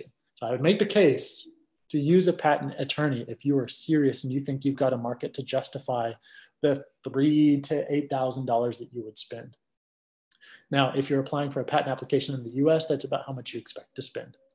But if you're going to apply for a patent internationally and you want to apply in Europe and Japan and China and elsewhere, these can get very expensive. I'm talking a hundred grand. So I would start small, work your way up, develop some interest in your device if you're thinking about going internationally, or if you're like me and you work in a healthcare institution, just let the university take care of it. Assign those rights away, get what royalties you can, and let them deal with this headache because it really is one. Those aren't equal numbers. I think the more initiated among you picked up on that. So, just to kind of rehash, application features that you will need are an enabling disclosure, the application fee, and what is called a filing date. Now, in the United States, we operate under a precedence known as the first to file law. This was a new law that was passed in, I believe, 2007. And essentially, what it said was you know, this whole system was designed to motivate people to tell the world what they're doing and how to do it. But if we only give people protection because they were the first inventor and no one else can kind of compete with them for those rights, that kind of still incentivizes them to keep it a secret because patents have a lifespan. And if you can keep it a trade secret, you can you can lengthen the time of protection. Think about Coca-Cola. Nobody knows the recipe. It's been 100 years and they've kept it trade secret and there's no patent telling us how to make it. And so they, they benefit from that. But the US kind of recognized that there's a benefit to switching from a first to invent precedence to a first to file precedence. This means that if you developed the Coca Cola flavor and I later developed it and filed a patent application on it and they grant it to me, I can steal it from you and you would lose Coca Cola. You lose the whole thing. Now, of course, there are issues about whether it would truly be a novel application or a non-obvious application at that point, but it is what it is. Uh, so if you develop, if you have an opportunity to patent, uh, you should because other people are chomping at the bit to take it away from you. So this leaves us in the patent prosecution phase. This is when you've filed your application. Maybe you have a patent attorney assisting you. You're given that priority date or that filing date. You've paid your fee. And then people are going to start reviewing. Uh, these are examiners who work for the government. In fact, there are only two offices in the United States where the examiners exist. One's in West Virginia, the other one's here in Dallas. One of the two is located right here in Dallas. In fact, I, uh, I play Dance Dance Revolution with a friend who works there uh, on the weekend. They do a prior art search. So they're doing the same thing as you, where they're looking at Google Patents to see whether something similar exists. They're examining your patent application to see if it actually meets the merits for patent uh, consideration. And then they're performing office actions to let you know what issues they find along the way. And then lastly, finally, you get your patent. They issue it to you. I wish that were the end, but there are still opportunities to extend your application. There's the prospect of litigation in which you have to sue somebody for infringing upon your patent. And all of those things are defined within the US Code 35, but we won't get into it. So these things cost some money, but the examiners review them and then you get your patent. Congrats. So here's that trade off one last time.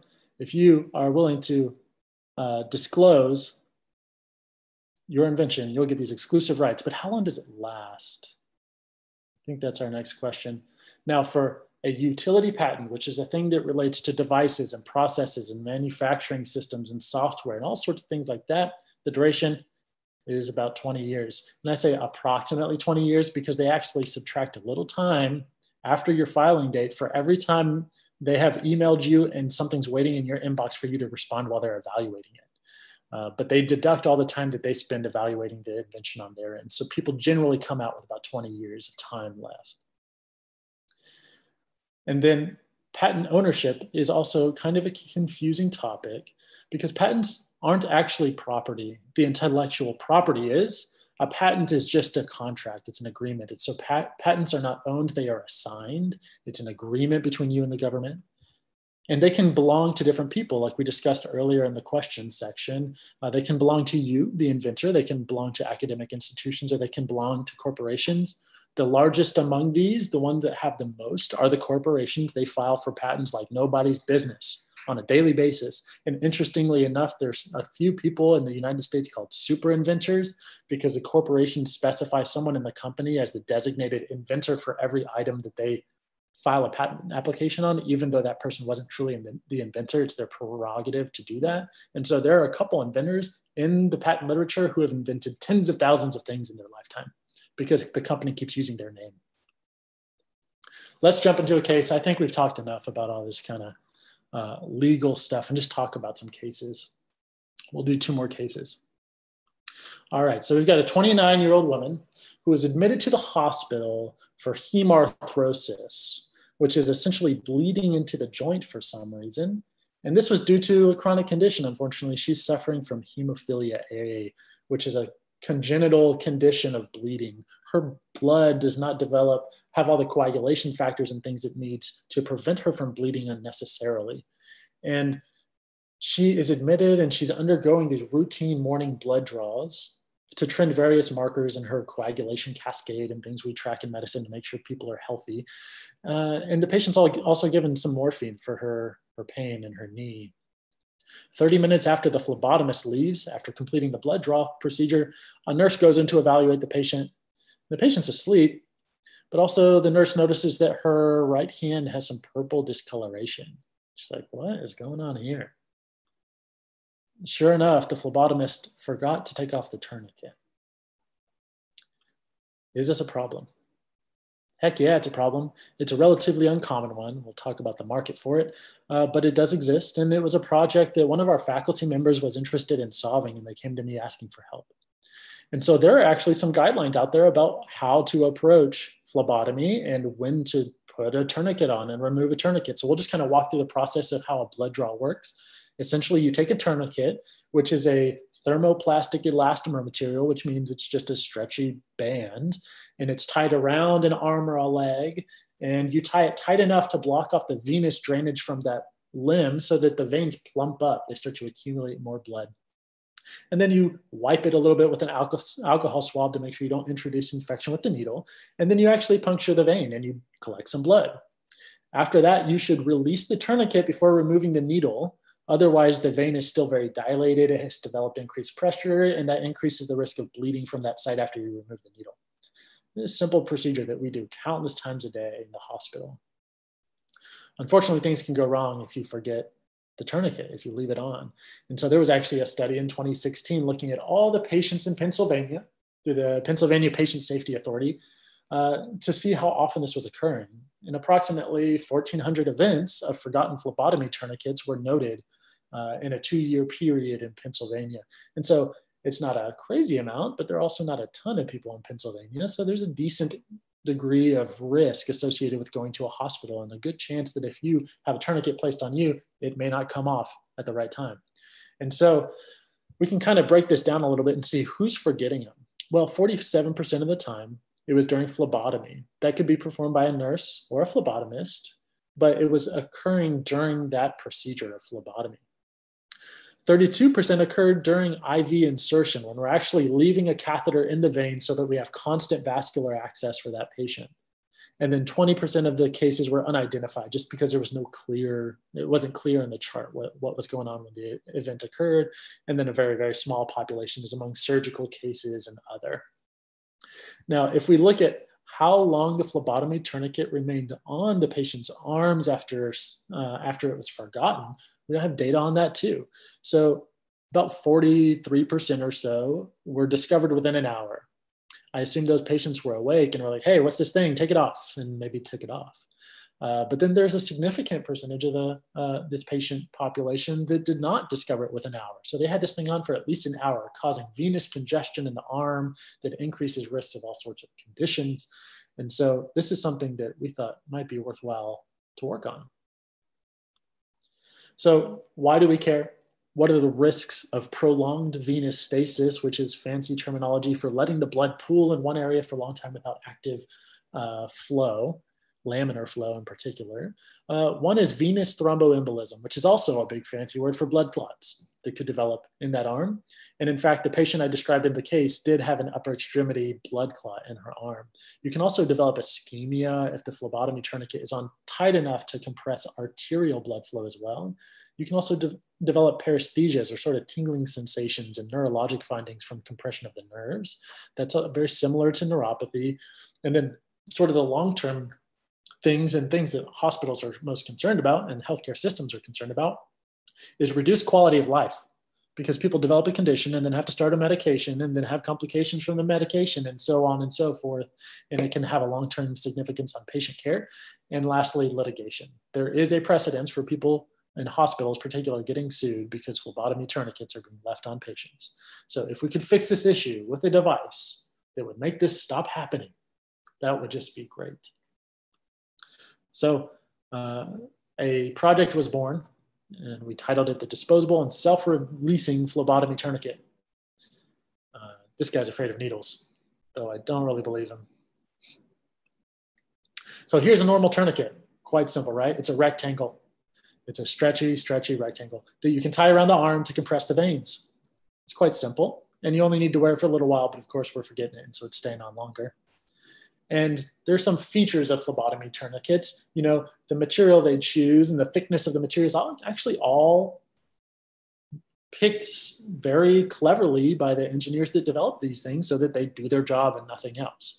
And so the question was posed, well, how much tension do you need when you put a phlebotomy tourniquet on?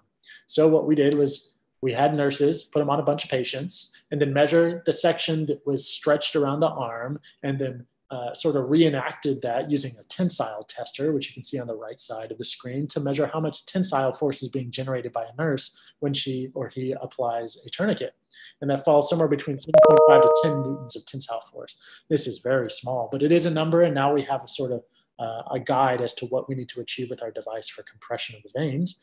And so um, this device, whatever we, uh, whatever is developed, needs to apply tension uh, that honestly can differ between providers because different people put them on with different degrees of tightness.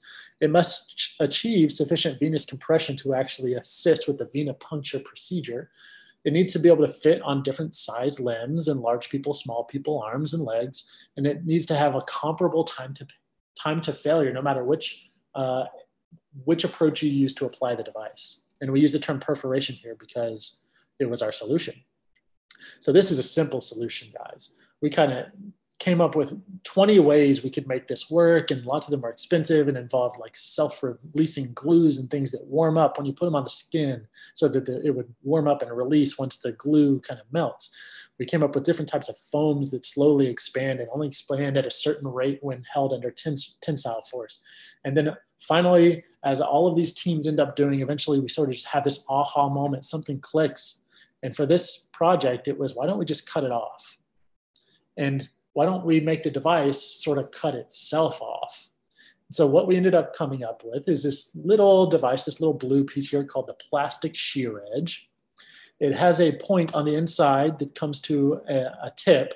It is not sharp. You can rub it on your skin. You can't shave with it, but it is sharp enough to kind of allow a perforation that already exists to continue expanding if pulled under tension.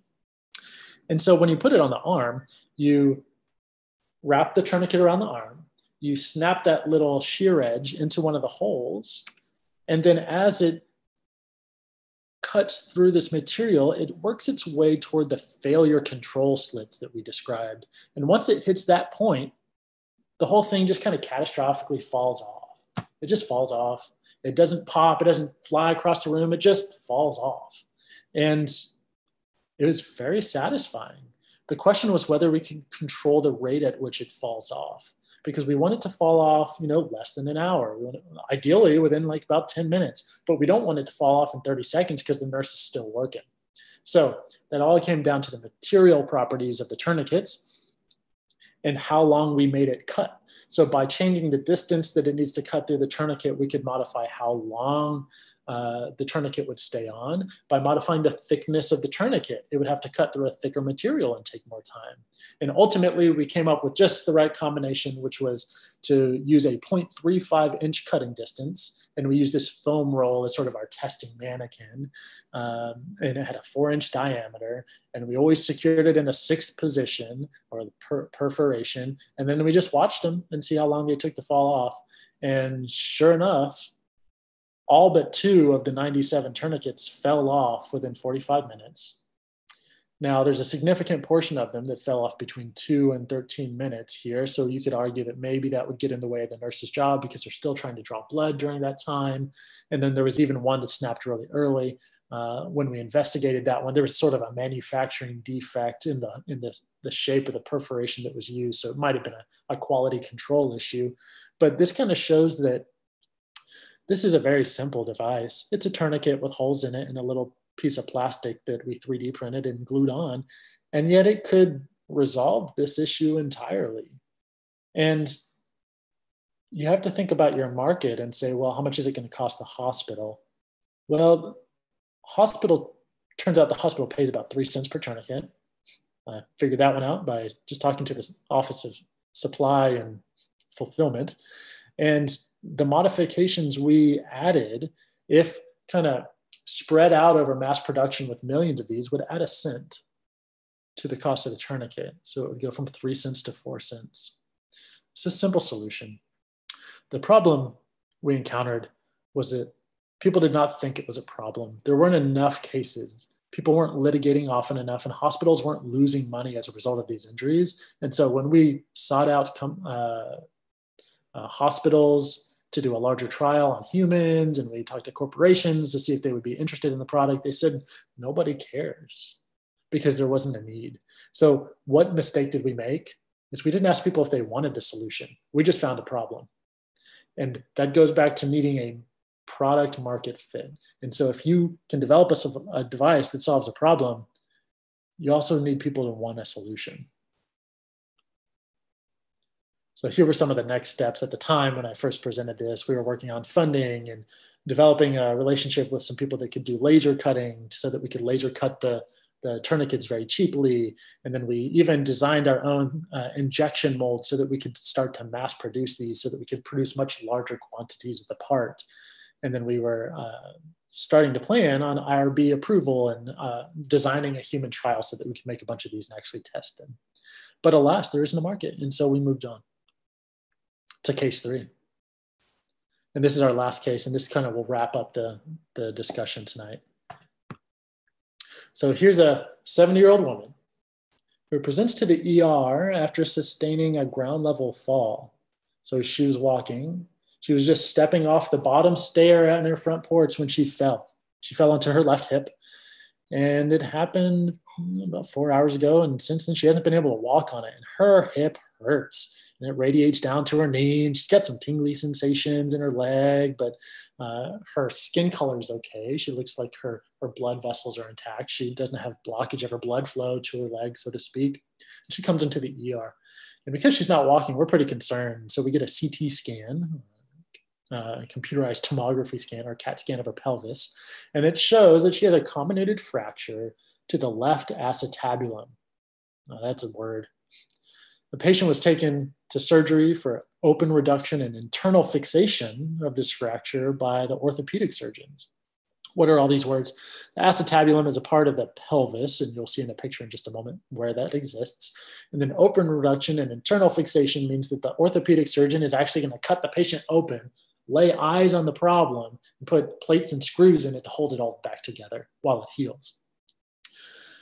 Unfortunately, four years later, she came back for sudden failure of this plate and screw fixation system and had really terrible pelvic pain and her blood pressure was dropping. She needed blood products and it turns out that when the when the plate and screws kind of broke out of the bone, they sheared some of the blood vessels in her pelvis. And they did everything they, everything they could to stabilize her. Unfortunately, they did. But then she got pneumonia and died while she was in the hospital.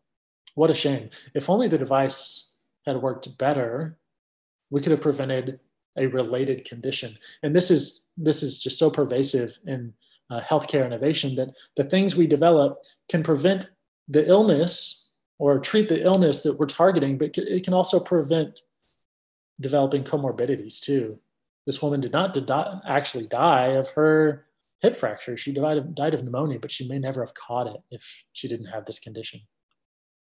So here's a pelvis. It is a ring of bone connected to the femurs, which is sort of like a ball and socket joint. And the acetabulum is the part of the bone you actually can't see in the pelvis because it's being blocked by the ball of the ball and joint, uh, the ball and socket joint of the femur here. If I remove this femur, you would be able to see it up in here in this area. I hope you guys can see my mouse. And so there's a pattern of all the different kinds of ways you can fracture your acetabulum. Some are more common, some are less common. Uh, the most common ones I will say are the fourth one and the last one, I think the sixth one there. They're fairly common fractures. And the approach has been to go in surgically and expose the bone, put plates and screws in them. But the problem is, really good bone is like concrete you can put anything into it and it's going to stick it's going to stay it's going to hold really well But these old people who are actually prone to these fractures have terrible osteoporosis, which is a wearing down of the bone that it becomes more porous over time. It becomes a lot less like concrete and a lot more like cheese. So you can imagine how well things would hold if you screwed in a block of wood to a block of cheese. It wouldn't go well. And that's what they were dealing with. In fact, the orthopedic surgeon that approached me with this project said that in his patient population, the mechanical failure rate at five years after surgery, like this lady that we discussed, is upwards of 20%. And they would have to go back to the operating room and get it fixed, or they would develop chronic illnesses associated with no longer being able to walk because they're bedbound. And it's just what an awful outcome. So we wanted to fix it. And so here's some just kind of like overarching effects of osteoporosis in society. You know, the US population is aging. By 2030, it's estimated that 17% of the population will be over 65. And then elderly, elderly individuals consequently represent the most rapidly growing subgroup of patients that are currently sustaining these fractures. And the incidence of these fractures is expected to double over the next 20 years. This is going to be a big problem. So for the year 2000, there were an estimated 9 million new osteoporotic fractures, of which 1.6 million were at the hip in this location that we're describing. And so the next project was born, which was a limited open acetabular fracture solution. So our problem statement was that current methods of acetabular fracture fixation depend on the mechanical properties of the bone, which I did not like because this bone was osteoporotic and there is a significant decrease in the Young's modulus, which is essentially the, the engineering term for the ability of a material to tolerate stress. Whether under tension or stretching, it's less elastic, more brittle, likely to fail. And the fragility of the bone leads to screw mobility. The screws can move and eventual plate failure because the screws essentially strip through the material. Here's what solutions usually look like. You put a plate, you put some screws. And wherever there's fractures, you put more plates, more screws. But these patients don't have a bunch of bone to be putting all these plates and screws in, so they fail. And you can see a couple, here's like an, a satisfying x-ray of what it looks like afterwards. This person also had a uh, a fracture up here. Uh, here's one made by Acumed, one of the leading providers of solutions for this. And then the really big company that provides the majority of solutions is Stryker. And this is what one of theirs looks like. They just don't work that well. So here's the problem. The shear force causes osteoporotic comminution around screws. Essentially, the bone sort of fragments near the, screw, the edges of the screw and breaks down and allows the screw to strip. And so the screws and plates loosen or strip with ambulation or walking. And then screws depend on internal Young's modulus or sort of that tolerance of elasticity and fail as a result. So we did a prior art search and we found some things that already exist to try to modify it, but we weren't satisfied with the solutions they developed. So we thought, hey, there's actually a mar- uh, there's actually a problem here that does not yet have a solution. It hasn't been described in the literature or in the prior art. So let's pursue it because this doctor is telling us there's a market. So let's talk about what we wanted our device to do. So we wanted to create a guide arm uh, which would essentially allow us to introduce a plate inside the pelvis eh, using a minimally invasive approach in surgery. The current ilioinguinal approach is a very open procedure. They essentially open the entire pelvis and expose everything in the pelvis to get to the bone. But we thought, you know, under fluoroscopy, using live x-ray imaging, if we use a guide arm that introduces the plate, we can just glide along the inside of the iliac crest and find our position without opening the entire body. But if we do that, how are we going to know where to put the screws? And do we even want to put screws? So what we thought next was, well, why don't we use a why don't we attach to that plate a very rigid guide arm that's connected to the outside of the patient and has drill guides through which you can drill from outside the body through a dislocated hip and drill holes directly through where you know the plate's going to be because it's all connected through a rigid metal guide arm. And then after that, instead of putting screws in, we can put something called uh, fiber wire. It's just essentially like a tightrope. You pass the tightrope through the hole you made in the skin, through the bone, all the way through the other side of the plate, and then have a little device on the inside that allows you to pull back on it and create tension. And then once you pull back and create tension, tie it down on the other side of the bone so that instead of screwing into bone, you're actually compressing it from both sides. You're squeezing it together like a sandwich. And so that's what we did. So we can jump forward to the device. So here was our approach. We have a plate here. This plate is going to be introduced in a minimally invasive approach. You're not, not even going to see the plate when it's in place, except under x-ray.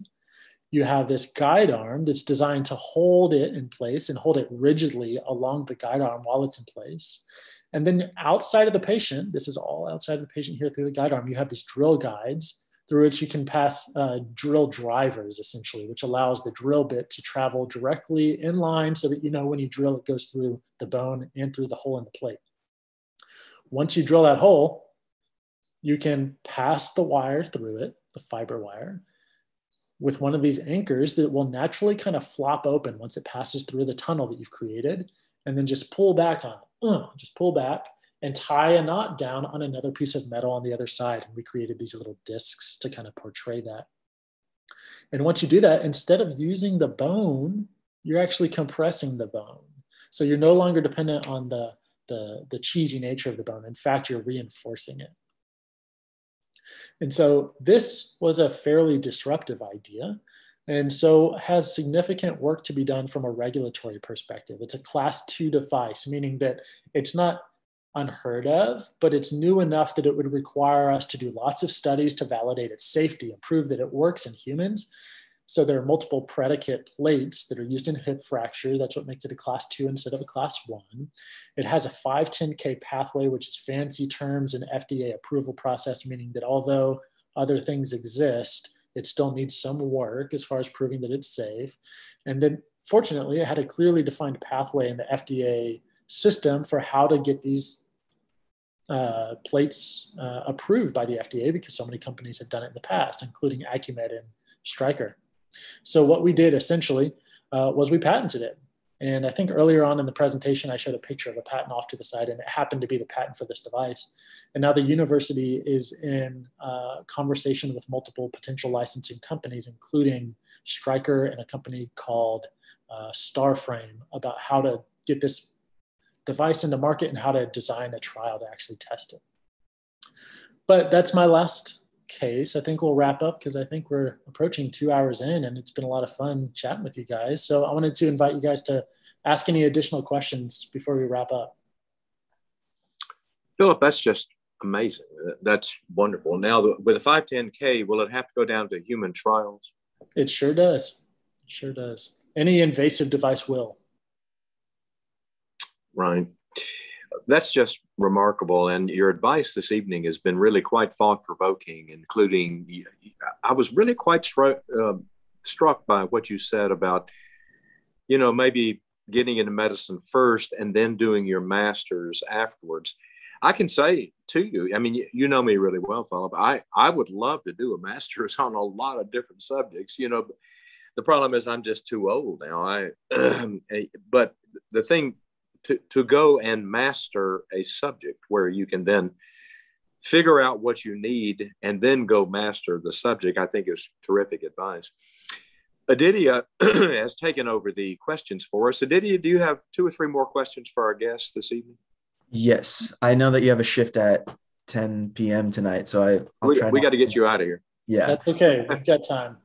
Um, so first up, um, how prominent is physician burnout among physician innovators, especially when their research is not getting results? Good that question. is an excellent question. And I think it is a problem. The reality is that I know a lot of people who've been burned out by this work. And it's something I face commonly, even when things are going well, when, especially in the pharmaceutical company, because things move so slowly. I'm constantly wondering whether we're going to actually succeed.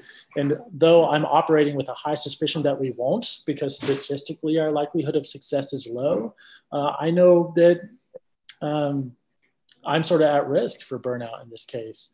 Uh, it's something where we have to constantly explore why we're doing what we're doing and try to find joy not only in the, the result, but in the process. I love meeting with engineering students. I love designing devices. I've failed on seven or eight of them.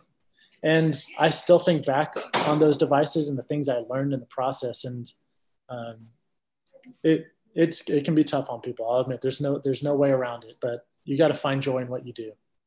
It was said about Thomas Edison, who invented the light bulb. The actual quote from Edison himself was that he came up with 3,000 different designs before he found the one that worked. Yeah. Uh, did he? Yes, we'll just do one more. So, what what advice would you offer an aspiring physician scientist who wants to develop a novel device for diseases or conditions that aren't very well funded or popular? For example, women's health. Wonderful. I think that's a great question, and you're going to be heavily dependent on government funding. That's the reality. And so, these there are lots of problems that don't have significant corporate interest and those are uh, generally more well supported by government funding. And gosh, there's funding for everything. There's funding for undifferentiated toe pain, and it is worth. It is. I'm, I'm telling you, there is money for you if you're going to study something that you believe is going to make a difference for patients. You need only find the source. So the National Institutes of Health is a is an umbrella that oversees more than 100 underlying institutions all of my funding through the pharmaceutical company actually comes from the National Institutes of Aging. And there is a National Institute of Women's Health. And they have funding for all sorts of problems and undifferentiated sorts of pain and vaginal bleeding, for instance. And I would, I would encourage them to look there. Thank you, Philip. Uh, can you go to the next slide? I think uh, Aditya is going to run us through the uh, exam process. Is and, there a slide after this one? There is. So, uh, for everyone else that's still here, we have our assessment. There's a QR code here. I'm also going to put it in the chat, and you'll be able to find a link to tonight's session quiz as well as session 12. Every week, we'll be reopening one past session so that those of you who have not been with our program from the start will be able to earn an additional two hours of virtual shadowing. Um, so please be sure to copy down these links for your reference and please be sure to watch the YouTube recording before taking these quizzes. And I believe you've put into chat the uh, link to the previous exam so that they can watch. Is it numbered session 12? Session 12. On critical care surgery and retake that exam so they can get credit for that. Well, thank you, everybody. Philip, what a wonderful talk. Thank you so much. And I, I look forward to our next time together in the ED. Philip, typically, uh, there will, you know, we'll place this online. This will be our 88th lecture that we place online. And typically, over the next couple months, around 5,000 individuals, pre healthcare individuals, will watch your lecture. And each one of them, Philip, in their career will go on to see probably 100,000 patients. Say, you know, that's a safe estimate. Um, 5,000 times 100,000 is a half a billion so, Philip, tonight you've touched a half a billion lives, you know, um, and so we just are deeply grateful. Uh, let's ask everybody to put thank you, Dr. Jarrett, into chat so you can see uh, over 300 thank yous coming from all over the world, uh, from good old downtown Dallas all the way to Thailand and beyond. Um, and to everyone who attended tonight, on behalf of the working group, we are so grateful. We'll be here next week. Next week, we're going to talk about what did we learn in this past season on the admissions committee of ways to help you prepare your application. Dr. Wynn will join me. He is one of my uh, co-admissions committee members and we're looking forward to seeing you again. So on behalf of the whole team and on behalf of Dr. Jarrett, we want to thank you for coming tonight and we want to wish you